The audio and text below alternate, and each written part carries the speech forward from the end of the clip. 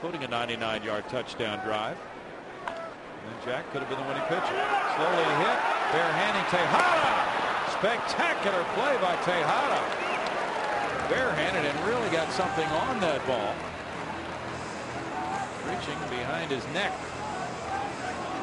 Yeah, he went down hard, did a, a roll after the play. This is an incredible play because he has to come awfully hard because of the speed of Cedeno to come that hard maintain control to barehand that ball and make the off-bounds throw. That's pretty darn impressive.